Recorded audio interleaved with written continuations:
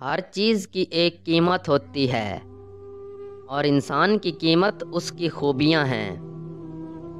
तुम्हारे पास भले ही हुसन हो, खूबसूरत आँखें और गर्दन पर तेल हो, लेकिन दीवानगी की हद तक एक वाह चाहने वाला ना हो तो आप खूबसूरत नहीं हो सकते। अगर दुनिया औरत की बजाय आदमी के पेट से पैदा होने लगे तो प्रेम और नरमी का नाम ही न रहे।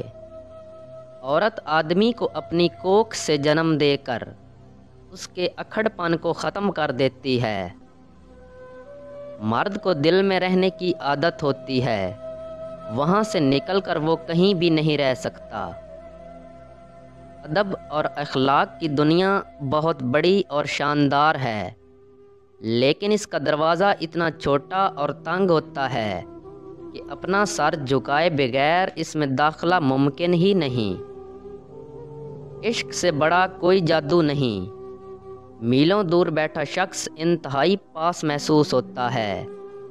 दिल की धड़कन से दिमाग की सोचों तक।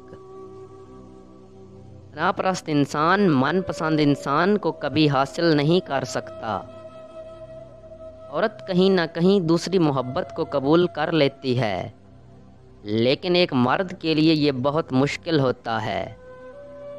दो किस्म की औरतों में जिनसी ख्वाहिश बहुत ज़्यादा होती है।